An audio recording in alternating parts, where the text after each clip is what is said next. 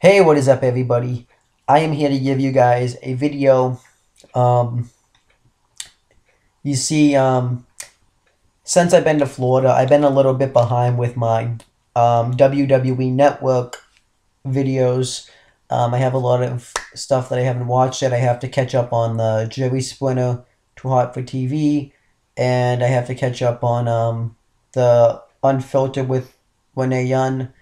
Um, I want to start watching the WWE list, and I'm gonna watch the Swerved thing. Um, but I'm gonna go by quantum. I'm gonna go chronological because I've been kind of falling back ever since I came to Florida, which you know makes sense. Why would I just want to sit in my room and watch WWE or just wrestling videos all day?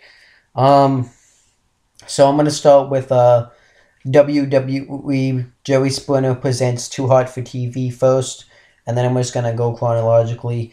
Um, this one actually came out before I came to Florida, but I didn't really want to watch it or record the video at the time, so I'm doing it now. Um, so this episode um, is called um, Bloopers and Blunders. And this is going to be pretty much all of the mistakes that has ever happened in the WWE. Um, and I'm just going to well, stuff that was just bad, I guess. You know, I'm just going to get right into it. Um, so it first shows the DX band performing at WrestleMania 14. And they were performing um, America the Beautiful and the national anthem. Um, and they did it like the way that DX would when their theme song goes off. And if you don't know who's in DX, um, it consists of Triple H, Shawn Michaels, the New Age Outlaws, the Road Dogg Jesse James, um, and the badass Billy Gunn of the New Age Outlaws, um, Chyna, X Pac, and Ravishing Rick Rude um, for a little while. And um, yeah, DX, they were just performing the band and they pretty much kind of, they it, it wasn't good. Um, and Jerry Springer actually said that this part of the um, of them performing at WrestleMania 14 wasn't on wasn't released when WrestleMania 14 went out on uh, VCR, so that's kind of and I can see why, but that's kind of good to know. Um, and um, I kind of wonder. He he also said you can't find any of this stuff on the WWE network. I'm not really sure if that's true or not, so I'm gonna have to wait on that. So then it shows all of Mean Gene Okerlund's bloopers, and he had a lot of bloopers. Um, I'm not gonna gonna gonna go into them. One blooper that happened is when he was interviewing Ravishing Rick Rude and Bobby the Brain Heenan, and um, like he was reviewing them at like some sort of like show, and the logo for the show was right behind him, and it just falls, and he swears about it. He says what the fuck or something like that. It was really funny. He also does stuff like uh, when uh, Miss Elizabeth was on the cover um, of a magazine, and um, he talks to one of the camera crew, and he's like, "Here, go play with that" or something. That was funny. Um, and um, what else hap- What else has happened? When um he was talking to Kamala and he was talking about how Kamala was getting lucky. He did that one.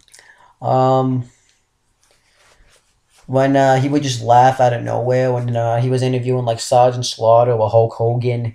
Um and uh what else? Um I think that's it. Um like there's other ones, but I don't remember all of them. I think there's a like more. He comes out um, doing like a thing where he's gonna talk to Vince McMahon or something like that, and he comes out and he kind of trips. That was that when he went to do his interview segment, and he had like a V on the attire he was wearing, and uh, he said those are the family jewels. But a lot of funny moments from Mean Gene Okerlund. Um, and uh, I don't remember all of them, but uh, yeah, those are like the ones I can remember off the top of my head but it's totally worth checking out.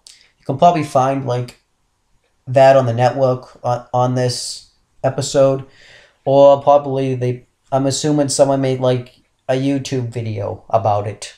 Um, and um, now we have some microphone mishaps. Just when people have botched on the microphone and messed up their words. It shows Teddy Long when he's cutting a promo with uh, John Laurinaitis and he's trying to say um, like uh, that SmackDown was like the most running episodic show. Well, the second most running running, pretty much what I just did. Um, and he shows um, when Sid, I don't know if he was Sid, Sid Vicious or Sid Justice at the time, but or Psycho Sid, but when uh, Psycho Sid was trying to cut a promo and he was like backstage live, and normally they tape the backstage promos, but this one was actually like real, like live, and he's like, "Let's do let's do this again." And he's like, "Oh, you can't, it's live," and then he just continues with his promo, and all of the mishaps that Mike Adamle would do when he was on commentary, um, which was funny, and um, they did more mishaps. Um, the mishap that Hulk Hogan did at WrestleMania 30 when he said the uh, Silverdome instead of the Superdome. Um, and then uh, Stone Cold Steve Austin and The Rock came out and, you know, um, pretty much uh, gave him shit about it. Um, there was somebody else. Um, they showed some like physical ones, like uh, when Stone Cold Steve Austin was walking backstage and he kind of just laughed. When um, Spike, when the Dudleys, which was Bubba Ray Dudley, Devon Dudley, and Spike Dudley, um, were all like walking out of the locker room, and Devon went the wrong way. Um, and um, what else has happened? Um, can't remember anything else. Um, but then they showed some live ones, like when Matt Hardy went to do his pose when he was with Justin Gabriel and he died and he fails and goes over the rope. When Vince McMahon was trying to catch the chicken and the chicken wouldn't go anywhere, so they had to like, so it didn't work out for him. And that was when Vince McMahon was training so he could compete, so he could, uh, cause he was gonna be like the first one with Stone Cold Steve Austin and the Royal Rumble match. Um, then, um, what else did they show? Um, they showed um, what else did they show? Um,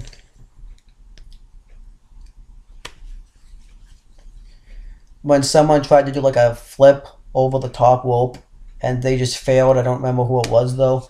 Um, when Shawn Michaels tried to get his pyro to go off and it didn't really work out for him.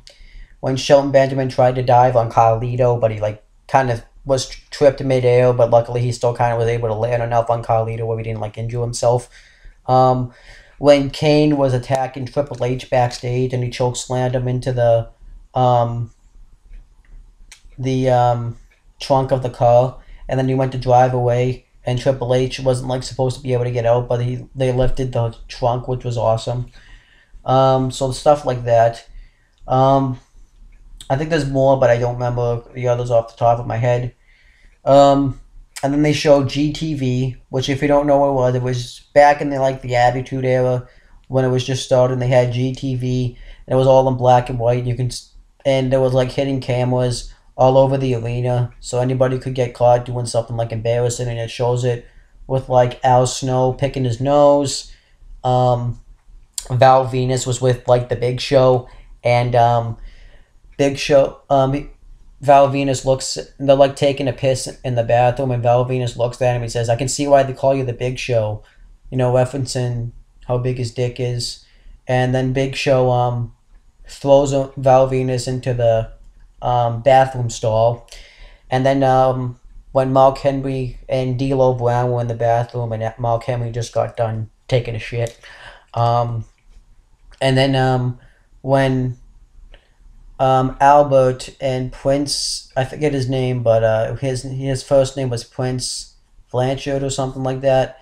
Um, he uh, they were gonna be like hoes for the Godfather for the night, and it showed like that like backstage and how the Prince liked loved it, stuff like that. It was pretty cool. And then it shows after the show, um, like what happens after the show and it shows some things like Stone Cold Steve Austin how always would you know drink his beers, which was nothing new, but he really used to do it, and he would say. Um, don't worry, guys. I have a designated driver driving me home. And then um, Stone Cold Steve Austin would always do it with like Lillian Garcia, and it shows a pic then like him like he's gonna propose to her, like ask her to marry him, but instead he says, "Can I have another beer?" And he's like, "I'm not that drunk." So that was funny. Then it shows some wardrobe malfunctions. Um, it shows Jacqueline. Um, I think Sable went to pull Jacqueline's Jacqueline when she was attacking the ref, and her like her shirt comes off and her tits are exposed. The same thing happens to um, not Sable. No, it wasn't Sable. The same thing happens to her when she tries to brawl with Stephanie McMahon a wardrobe malfunction when uh, Razor Ramon tries to pull Shawn Michaels off the ladder and his ass gets exposed. I think I reviewed that match, so I think I mentioned it. The same thing happens when Mr. Kennedy tries to do a roll up to Ric Flair. Um, and then it shows the um, the set the uh, segment when uh, somebody stole Christian and Chris Jericho's, who were a tag team at the time. They were one point um, world tag team champions. Um, and they somebody stole their clothes and they were like naked, and it was none other than the Dudley Boys, and it finds their ass cream, and then they came out to the and nobody was coming out to get their stuff, so they just throw their stuff in the crowd. That was really funny, and then afterwards, um, they uh, Spike Dudley exposes um, their um, you know takes the towels off and they're naked, and then Christian kind of runs the opposite direction so you could see him na- getting naked, which was funny and that was um like the end of the episode, pretty much. But this was really funny stuff. I like to see the blooper stuff. And like I said, I like to watch this show because you get to see all the past stuffs in the uh, WWE. Um, still a lot of stuff from the Hogan era and the Attitude era. So that just proves right there that those were two great eras. And the nowadays eras are pretty much like shit. So that's just what it proves to me. But that's pretty much it, guys. Um, Thank you guys for watching this video for those of you guys who did. And uh, you can click right here to subscribe. That's pretty much it, guys. See you later.